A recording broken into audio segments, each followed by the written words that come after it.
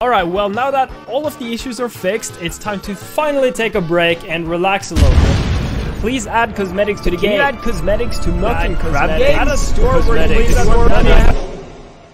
They are free games. Dani isn't that kind of person to milk their games if it gets popular. That's what makes Dani different. He doesn't care about money or fame or any of that. I already know. He is not gonna add cosmetics are finally done, boys. Time to make some money!